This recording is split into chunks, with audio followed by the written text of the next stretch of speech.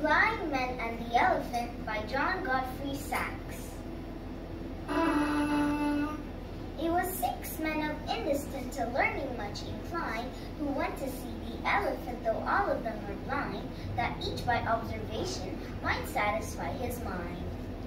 The first approached the elephant and happening to fall against its broad and sturdy side at once began to bawl. God bless me, but the elephant is very like a wall. The second feeling of the tusk cried, Ho, what have we here? So very round and smooth and sharp, two meters mighty clear.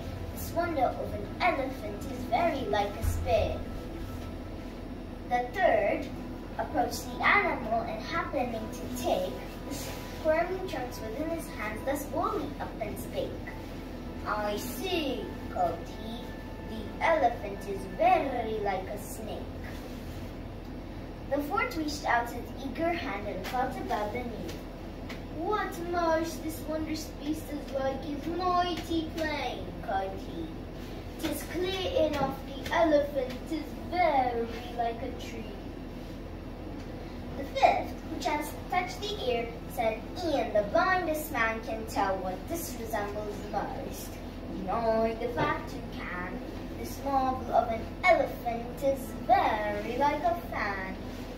The sixth no sooner had begun about the beast to grope, than, seizing on the swinging tail that fell within his scope.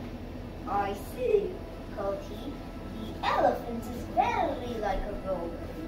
And so these men of Indostan disputed loud and long, each in his own opinion, exceeding stiff and strong, though each was slightly in the right, and all were in the wrong.